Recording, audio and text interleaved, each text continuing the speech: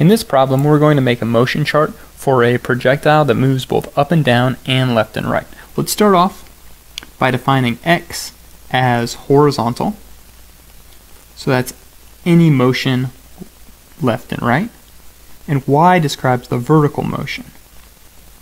That's any motion up and down. So while this is the object's real speed, we're not actually going to use that. We're going to use the 30 meters per second upwards and the 21 meters per second to the right in our chart. So in our chart, since y is up and down, that initial value for the initial vertical velocity is 30, and the initial velocity to the right, vx, is 21 meters per second. This is a free fall problem, and since gravity pulls downwards, acceleration is negative 10 meters per second squared. Remember, this cannonball is going to be in free fall as soon as it leaves the cannon.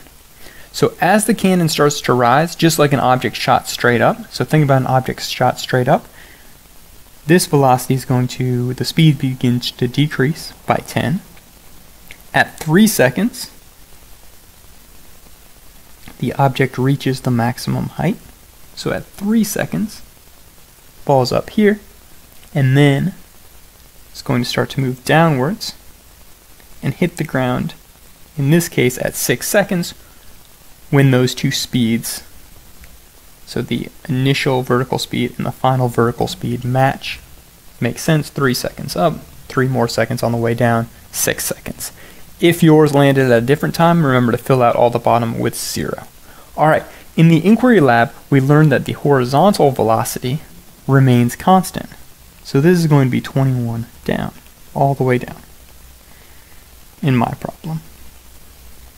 Alright, that means acceleration is how much the velocity is changing each second, so the horizontal acceleration is 0. These two, ax equals 0 and ay equals negative 10 meters per second squared, that's going to be true any time we have an object in free fall. All right, the next part of the problem says direction of motion at 2 seconds. So at 2 seconds, the object was something like here. So it was still moving diagonally up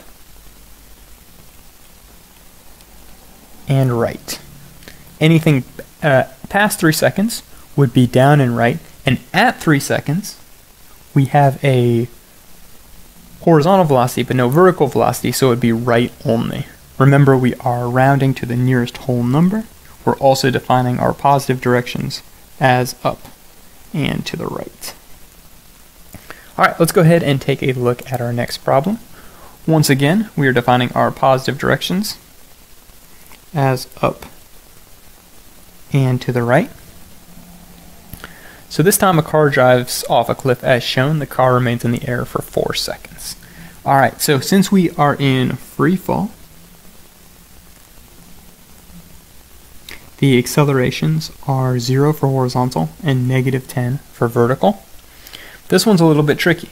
So it just shows one initial speed of 35 meters per second. Well, since x stands for the right and y stands for up and down, this 35 is going to be our initial horizontal velocity.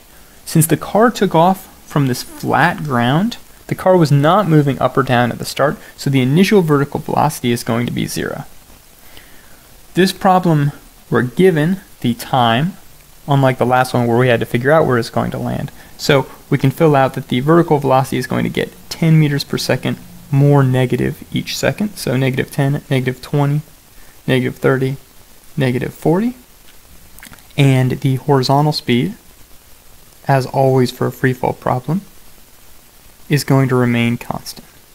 After one second, so the car is right here, this negative Vy tells me the car is moving down. This 35 meters per second is to the right. So the correct answer here is down and right. At first the car was traveling right only, and then it's going to be moving down and right for the duration of the problem.